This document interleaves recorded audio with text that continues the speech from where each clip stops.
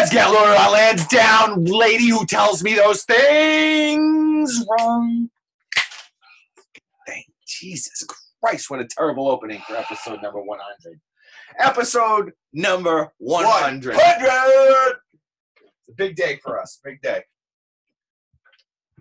All right. It's really something. It's as you can tell. All, we're here with all of our friends. All it proves is there are a hundred Fridays where we had nothing to do. We had no plans. Because let's be honest, the weeks where something was going on that was better, we didn't do a podcast. yeah. Uh, We didn't do it, or we, you know. But tho- actually, those were few and far between. I mean, we we we we've been pretty good. Last year was touch and go. yeah. You know, last year was touch and go, but I think we did all Yeah, right. we'll blame it on COVID, blame it on just a crummy year, uh, you know. Well, I mean, plus there- was nothing to talk about. I mean, there's so much you can talk about, like what's going to happen. That's why I stopped writing. You know, what am I going to write about? I, I- was writing about uh, the past, like you know, like Dw- Dwight Evans was Yeah. such a good right fielder. You know, it's Yes. it's almost like the, like real estate agents. When the market's great, Yeah.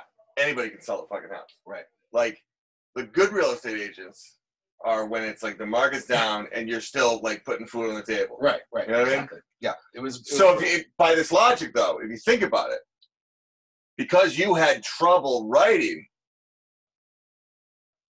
when it wasn't good, I'm a shitty writer.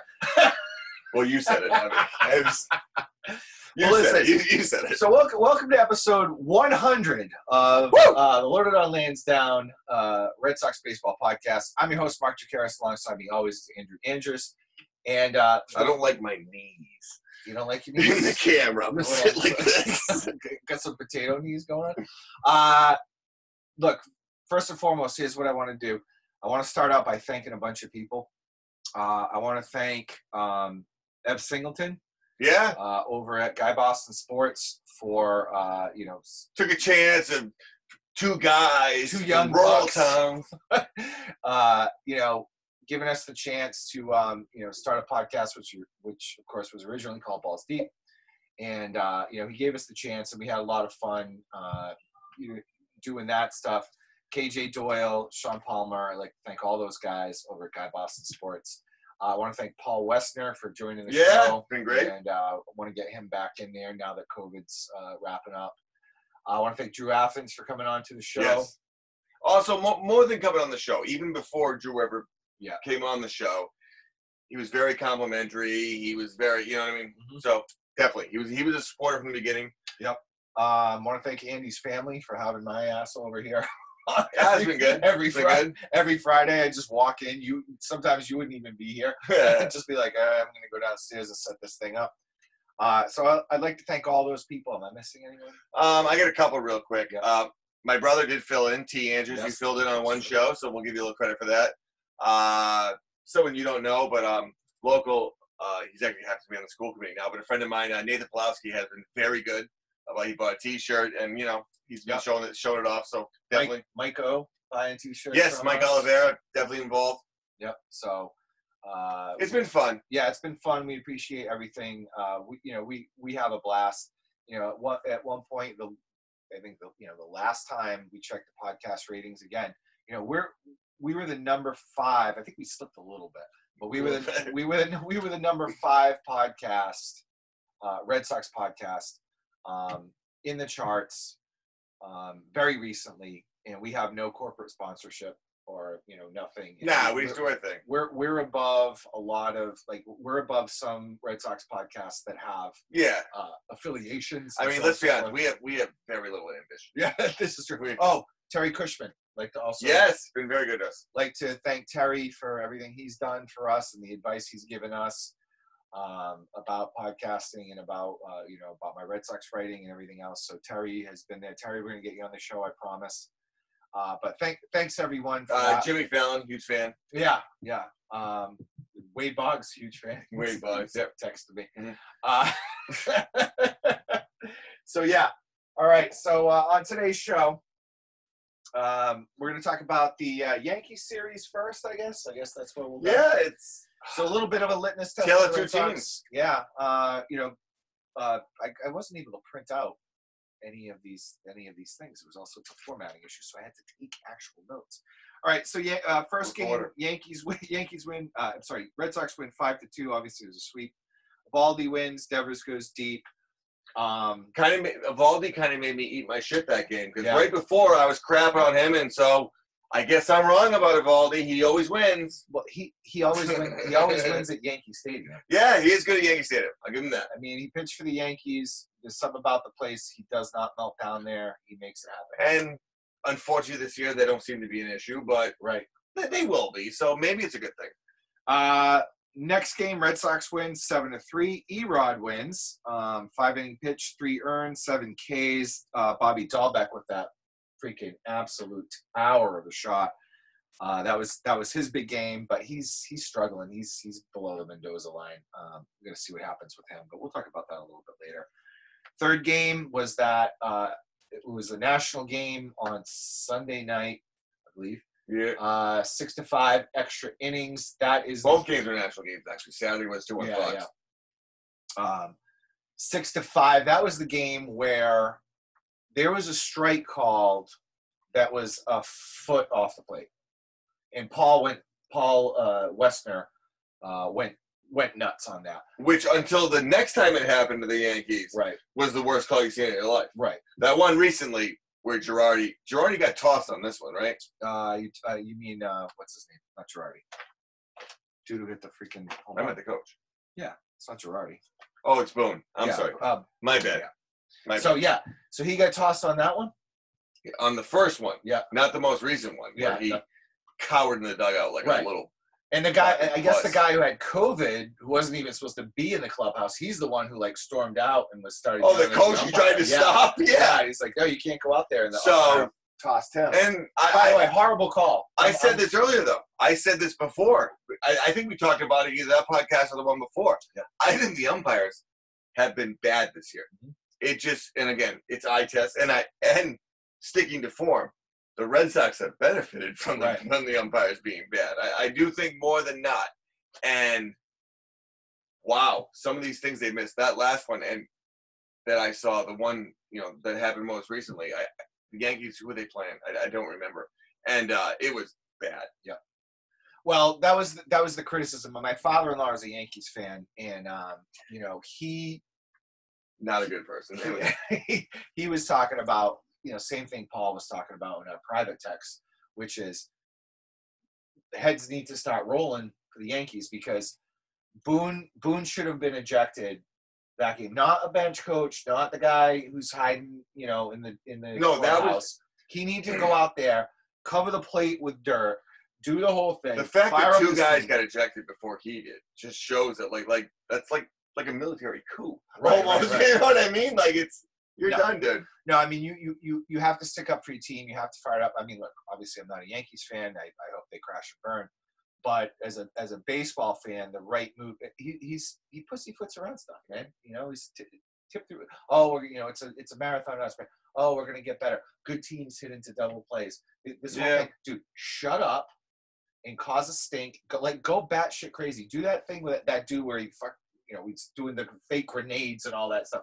You have to you have to go mental so your team has your back. I don't. I mean, I don't. It, it, it's a rudderless ship right now with the Yankees, and that's absolutely fine Well, but with me. yeah, dude. Before that though, it was easy because you had a maniac in the suite up top Right, who was just going to do that for you. right.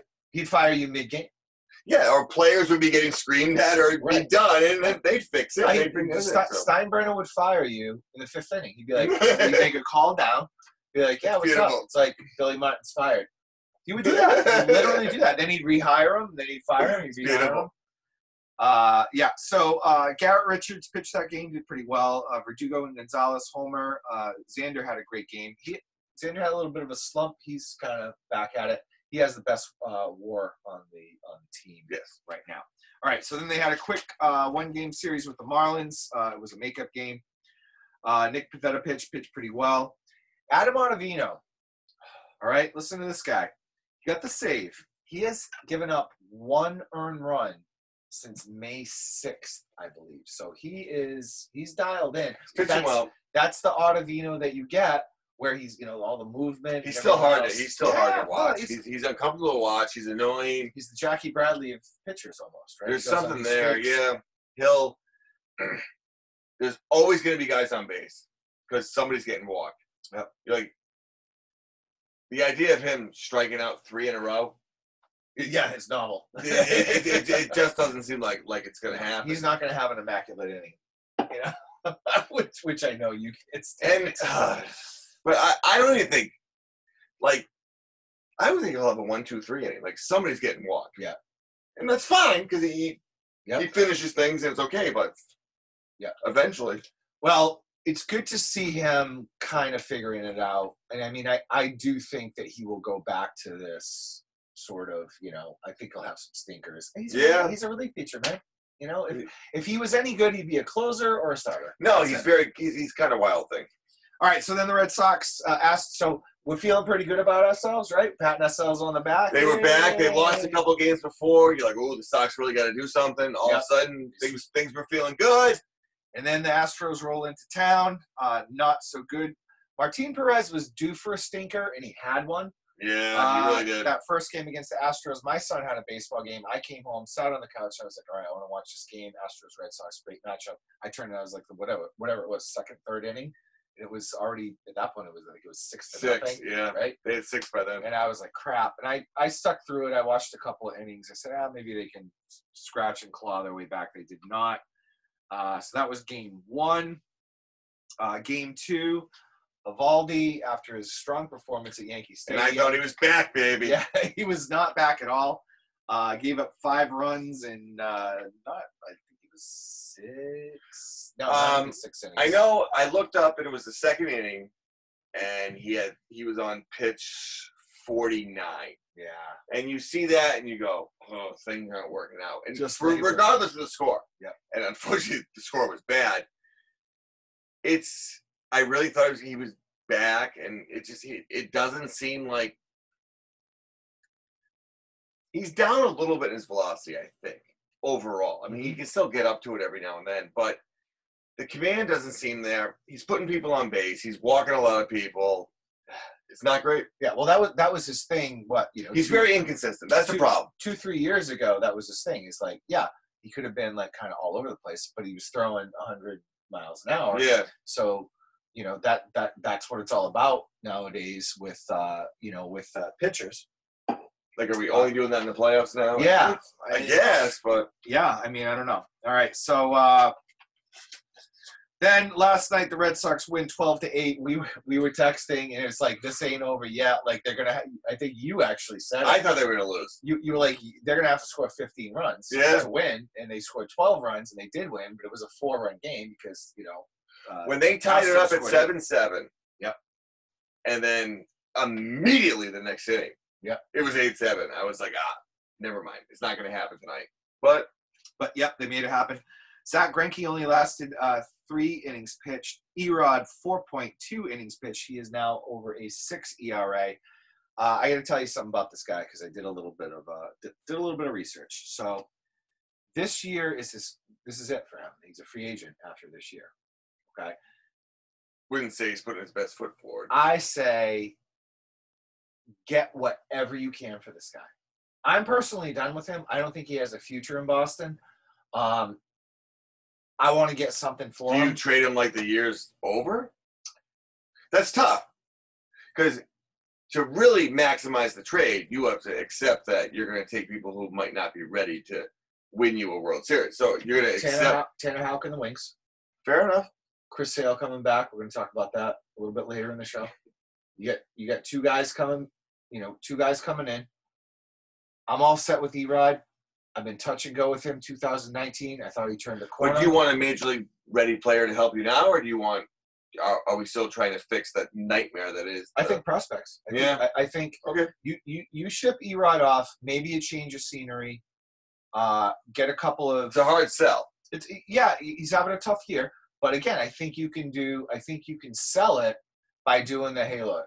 He had COVID last year. He didn't pitch at all. Uh, look what he did in 2019 before. It's kind of like Tommy thing. John, like Yeah. the second. Yeah, year. absolutely. Yeah. You know, I, I think you may be able to get something for him. The I- fact that he hasn't been hurt. right. He hasn't been physically. Yeah, he Yeah. hasn't had those little ticky tack things that you said, the, the knee and the elbow. He's another one though. that He doesn't seem like he. I mean, See the Tuukka Rask of like the Red Sox, like these ticky tack injuries. you know the talent's there, but yeah, but he just can't. He just can't. he he's a little worse. I I he really doesn't feel like he's attacking people. He uh, and we keep saying that it's such a generic thing, right? It's it's he real everything is that he just tried away, Right, away, right. away, and it and nitpick, nibble. and next thing you know, it's a million times. It's the fifth inning. Yep. Ninety-eight pitches. Yep. No, I know. I but I, I'm, Fourth inning, I'm ready. Eighty-two pitches. I'm ready to cut bait with this guy, and I think I think because it is a contract year, I don't want to resign him personally. No, I don't think you. I, So get get something for him. listen, I'll take him for my fifth starter. Yeah. You know what I mean? Right.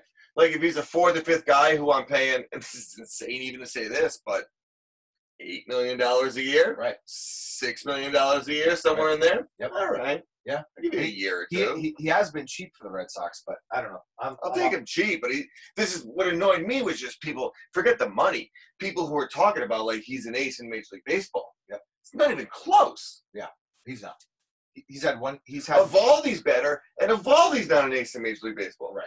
He's had one good year, folks, and it's 2019, and and that was it. You know, if if, if the COVID thing, you know, halted his progress, well, you know, sorry, like mean it, like that sucks. You know what I mean? But didn't pitch at all last year.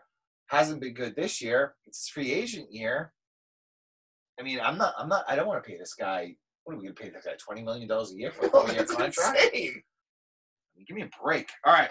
Anyway, so mixed bag result weekend for the. I'm, I'm glad they didn't get swept by the Astros. Astros are clearly the superior team right now, They're the best team in the American League. and you know we talked about this. You know, you wonder how much they didn't have to cheat to have the success. It, it they really did not seem like it. You know. So well, anyway, speaking of cheating, And arguably, they had better pitchers then. right? Like the lineup is, I think, a little better well, they had Gerrit Cole. Yeah, You know. that Alvarez dude is Yeah. a monster. Yep. I know. He's a monster. He crushes the ball. So to have him in the lineup too, it just the pitchers don't have the names that they had before. But Right. They're still making it happen. Well, that's yeah. like the and race. Verlander's hurt, so Absolutely. All right. Anyway, um, so speaking of cheating, so there's been a lot of stuff about. Uh, there's been a couple of uh, accusations here. So substances on balls. yep. All right, uh, specifically with Gerrit Cole of the Yankees, um, and juiced baseball accusations as well. That Major League Baseball is juicing, juicing certain balls or putting certain balls into play when certain guys are up. It's like What? really, really crazy. Yes. Oh, I'm So- sorry. I, when you said this was a topic, I thought you were talking about the actual guys doing it. So, former Red Sox player thinks Pete Alonso, Pete Alonso, of course, plays for the Mets, theory about Major League Baseball manipulating baseball makes sense. Something's off. Hopefully, something comes out before the CBA because this could get really messy. And the former Red Sox player is uh, Will Middlebrooks. All right, so this was CBS Sports. Okay. Um, now they have the rights to the uh, Wait, before you actually go. Yep. And I don't hate Will Middlebrook. He seems like Yeah. a good dude. Yeah, I've tweeted back and forth with him. He's- Yeah, it cool. seems all right. The fact that this is him. Yeah. Well, Pete Alonso's legit though. Yeah. I mean, he's he's legit. No, I, he's also having a real bad year this year. Yeah. Well, maybe that that's part of it. All right. Um, now that they have the rights and capacity of accessing the manufacturer of the baseballs that they use every day, that's something to think about. I'm not a big conspiracy theorist here, but I do think there's an issue. And another thing is they change the ball every year. What other sport does that? That's a that's a really good point. It's like, well, we're changing the balls. Um, in 2019, there was a huge class of free agent pitchers, and then that's quote unquote the juiced balls. And then 2020 was a strange year with COVID.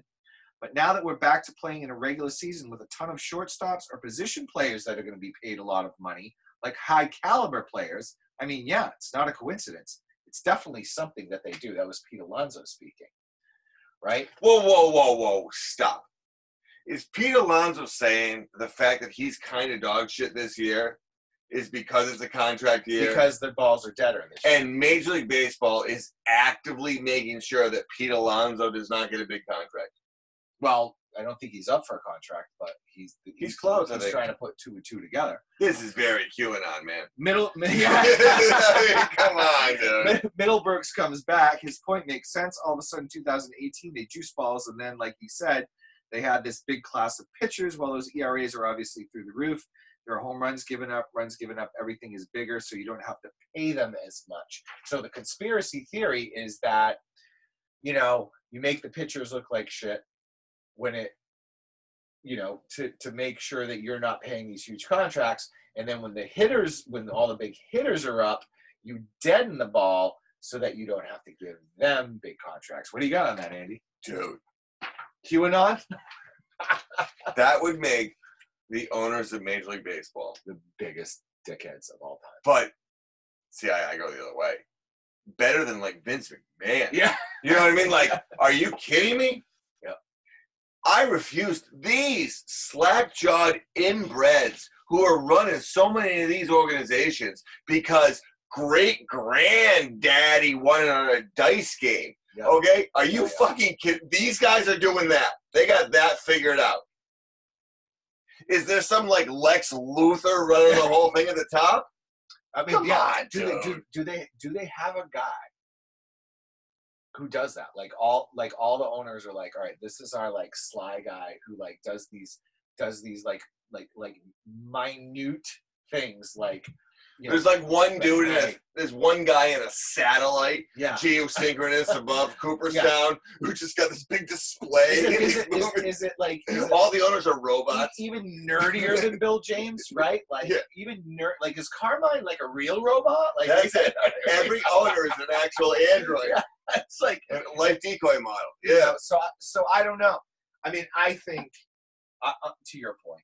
Look, that so- that sounds a little bit too, but you know, but the whole thing is that they do change the ball every year. It sounds like Pete's got to focus a little bit. yeah. I mean, No, they do change the ball every year, and I get it, but how much can they really change it? Right. Number one. And they change the. You know, it, it I seems don't- hard for me to believe that they look at the data and say, okay, who's coming up as a free agent? All right, there's a lot of pitchers coming up. We're going to change the ball. There's a lot of batters. We're going to change the ball so that we don't have to pay them X amount of money. The money, the money's going to be there. I'll argue the money they pay them when offense is the thing, Yeah. way outweighs it. You know what I mean? So I, I just I could almost understand a pitcher saying this. Right, exactly.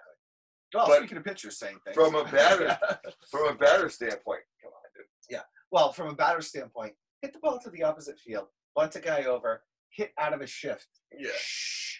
Shh. Stop talking. You guys could all be hitting like 390. Right. if, if you would just stop with the launch angle and all that shit.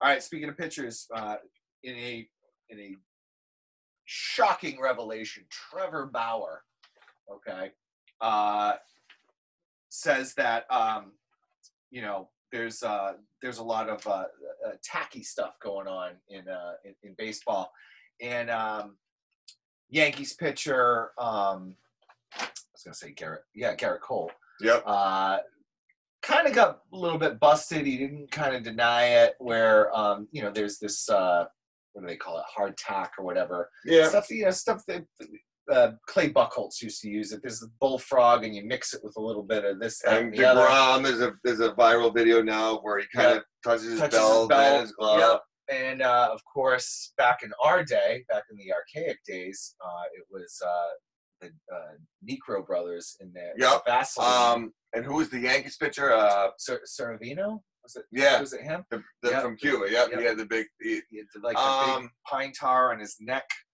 and all that stuff. So the so the point is that you put a substance on on your on your fingers and it gives you a little bit more grip on the ball, which which gives a little bit more surface area, which gives it more spin rate, and that's well, that's the now they stat. can mathematically actually look and kind of see a chance. Ridiculous. I know. but- All right. So, you know, this is this is the whole thing. Major League Baseball has uh, vowed to crack down, and they're going to do like um, you know uh, random checks of uh, of these guys. It's the wrong way to go. Uh, yeah, what do you got, what do you got on this? They should allow it and encourage it. Yeah. Um, dude, when the ball moves, it's so awesome. Yeah, you know, like when someone throws, like, come out with a substance that's allowed. Yeah. You could use this. You can use this. Batters, It- it- batters can use pine tar. They can they they can use Yeah. the rosin bag. they use the rosin bag, whatever. Yeah, but they, they're allowed pine tar. Or here's what you're allowed. Mhm. Breaking balls are so cool. Yep, let's get crazy. Cut fastball, so cool. Oh, That's why you know I, both Andy and I are a big proponent of make steroids legal. like you know, like you ain't cheating, you ain't trying. yeah i mean I, I want i want to see bombs and that's the thing you know i'm sick of i'm sick of these people who are like oh the astros cheated. Oh the yankees cheated. Oh the red sox cheated. Everybody literally every single team in professional sports cheats somehow. They they try to get away with with with little ticky tack things here and there. Stop with the cheating thing. Because everything's ticky tack. Like, save. I mean, if you actually a mobster says, you know, you need to take a dive, Right, then right. that that's bad. But Right. like, everything is ticky tack until they get caught. Right. And then it's a big deal. Right, exactly. And, and no one says anything. Everyone knows it's going on. Everyone, you know, everyone knew that the that the Astros thing was going on. It was until someone said it. I was like, hey, you know, it's kind of, you know, it kind of sucks. Yeah. You know what I mean? And everyone's like, well, wait, what? And then they got investigated, X, Y, Z, right? But I mean, it's like, uh, it's like, uh, what was it? Not not Spygate. Um, Deflategate, no, it wasn't Deflategate. Was it Watergate. it was Watergate. You know, Nixon really well. What'd he do? Actually, actually, I will talk about Hey, Watergate. He wasn't doing anything. He, hey. he wasn't doing anything that anyone else wasn't doing. I mean, give me a break. Um, no, but the, you know, the Astros like that stuff was egregious, and people knew about it. And someone finally said, you know, that kind of sucks. You know, people kept their mouth shut. You know, because they, it's they're in a they're in a like- union, man. They're in a union, and people don't want to blow up other union members. I, I, I guess the thing is, honestly, in that situation, another team should have told the Astros to cut the shit. Right. And it, it should have been just dealt with as far as like, other, hey, play, man, other players. that's what I'm saying. Yeah. Like, as other players should be like, dude, you have to stop doing that. Like, it's come on, man. We're, we're all in the same union. Right? I'm going to say something on TV. Right. Keep doing this. Like, it's and then But- it would have stopped. we're we're both in a union, and it's like, you know, if it's like, oh, So it's the other guys who knew on other teams. Right. Like, they really should have been like, come on.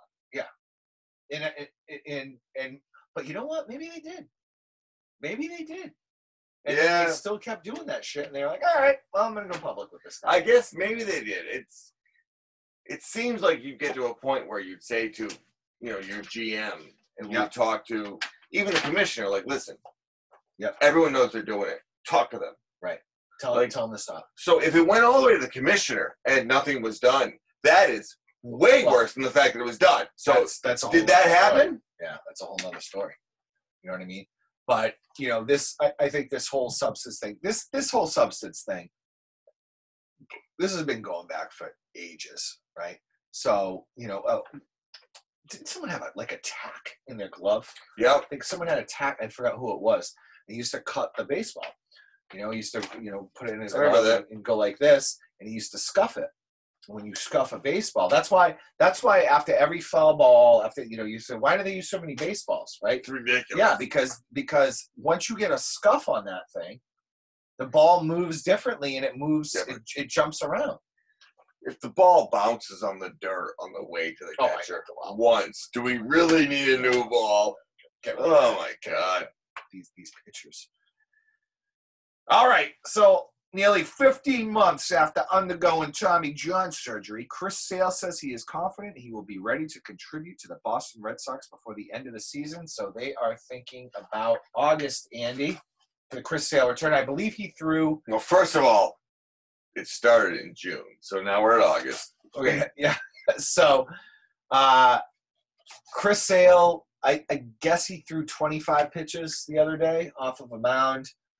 Um, you know, he's rehabbing X, Y, Z. Everyone's like, you know, people like, oh, look out, he's coming back. What are your predictions for Chris Sale? Is he going to be the same pitcher? Is he going to be a better pitcher? Is he going to be exponentially worse? Is he going to be able to contribute to this team? And is it going to be enough?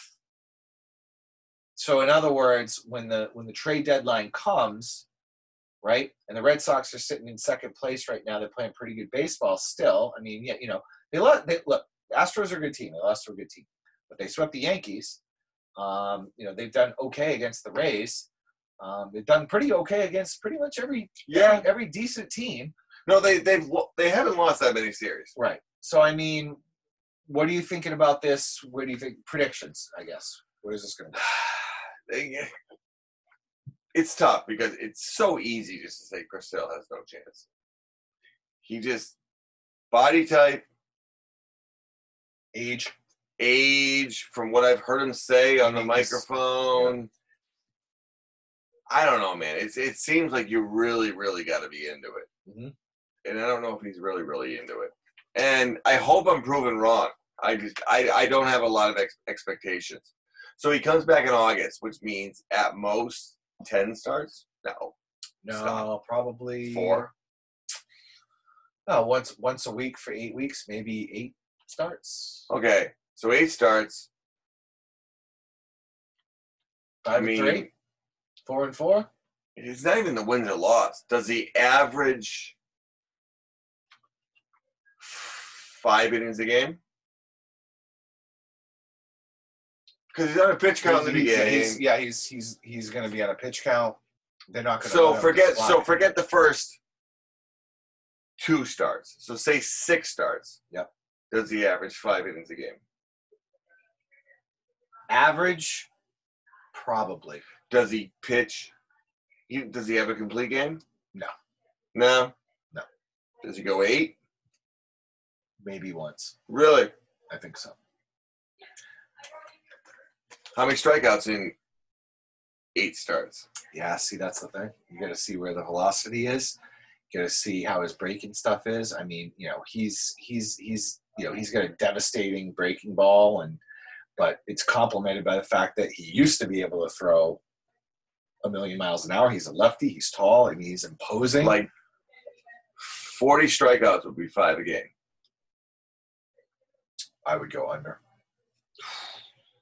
I would say maybe thirty strikeouts, but I don't know. Because of the first couple, Because- it's, it's So, because sometimes guys come out of the other end of Oh, they're Tommy John supposed surgery to. better than they were before. does he seem like that guy? doesn't to me. He does not seem like he that doesn't guy. to me. That's the problem. But here's here's the thing though. Like, I, I don't think any Red Sox fan can dispute the fact that we all love Chris Sale's attitude, his competitiveness, and what he says. The fact that he takes, um, uh, you know, he takes responsibility. If he if he pitches a shitty game, he's like, "That's on me. I got to pitch better." Yeah, he's been good about that. you know so i think that we appreciate about him but He's I- got a little bit of that baseball tough guy. You know, Yeah. like is it really? yeah, A little bit of a Josh- yeah, the. Beckett. Yeah, you're exactly right. So it's you say that, and he does. He says the right things a lot. When he says the wrong things, it's just like, Yeah. like real bad. But yeah I, I mean i don't know i it's it's very difficult to predict how much he will be able to contribute to this team. yeah, i really do because to your point because of his body frame because of everything else all right before we before we end this podcast so i want everyone to uh, check out the news because uh, i was sitting in uh, uh, an office today uh, with some coworkers, and one of uh, one of our coworkers, her husband uh, is, I believe, a state police officer, and he's on- he does like uh, rescue stuff. Like he does this great, like he's like you know chopper, like rappelling out of a chopper stuff, right? And she was talking to him on the phone, and she goes. I, we're overhearing this. And she goes, So wait, he was eaten by a whale? Right? And we're all like, What did you just say? So she's on the phone. Whatever. She gets off the phone. She goes, "Well, I just talked to, my husband, and uh, you know they just did a rescue. This guy was eaten by a whale, and the whale like he was in the he was like literally in the whale's mouth, and the whale." Spit him out, or burped him out. like burped him out. Was like, oh shoot, like this is not my type of food. Perhaps the guy, the guy was a um, Maybe he lit a fire in his boat. Like this, is, this is Pinocchio shit. Yeah. Right? So the guy was a, um, a, a lobster diver. So he was checking out his pots. The whale freaking ate him. I know there's traps, right? Okay. Pull 'em down. Yeah, well, that's I didn't know. I mean, that's what I would have done, right? So we're like, "What the hell are you talking about?" She's like, "Yeah, this guy ate a whale." So What kind of after whale? after it was a sperm whale. Off, the coast of Cape Cod. So we're like, this is the most bizarre story. So we're at uh, we're at the bar after work. All of a sudden, on USA Today, Boston.com, man is eaten by sperm whale. sperm whale. Get you know they he puked him up or whatever, and they rescue this guy. He had a broken leg. He's like, yeah. He's like, I was in the whale's freaking mouth. He's like, I, he's like, I didn't know what was going on. He's like, I was swimming down to get the thing, and he's like, all of a sudden, it was like, you know, like, like uh he was inside the freaking whale's mouth. This is so bizarre, dude. I wish I was joking about it. You got to look it up. It just ha- it just happened. He didn't see the whale? He didn't see the whale because the whale came from behind, Wow. and I don't know what the whale thought he was doing because whales generally don't eat like big ass thing. I mean, whale. I mean, Sperm whales eat like they- uh Do they eat like? like squid and shit. oh, do they? They Oh yeah. squid? Sperm whales are So they don't have the the brill. No, they got teeth. I believe I believe teeth, sperm whales right? like hunters. But they dive like super deep. Yeah. Dude was eaten by. Can you imagine? Like be be like, yeah, I, sur- I. I survived. My all right, that's episode number one one hundred the loaded on land. Diving for lobsters. Just throw the fucking pot in, dude. You pull it up from the boat, the asshole. Loaded on Lansdowne Red Sox baseball podcast. I'm your host, Mark Chekares. 100. This is Andrew Angers. He is my co-host. I want to thank everyone who is who has listened. Uh, honestly, uh, you guys, uh, you know, all 12 of our, our viewers, we love you guys. Uh, thanks to all our co-hosts, everyone who's given us advice, everyone who's given us a start. We have fun doing this. We're friends anyway. We come over here. We do this thing. We, We get nothing. We drink beer. we drink beers, and it's gonna be uh, it's gonna be a great day. So thank you. Cheers and adios. We shall see you next week. All right. Peace.